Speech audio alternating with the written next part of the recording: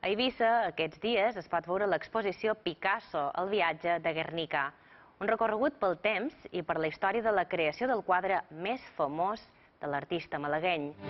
La mostra il·lustra amb tota mena de detalls com una obra del 37 pintada en cinc setmanes i que simbolitzava l'horror dels bombardejos de Guernica durant la Guerra Civil s'ha convertit en una de les icones més representatives del segle XXI.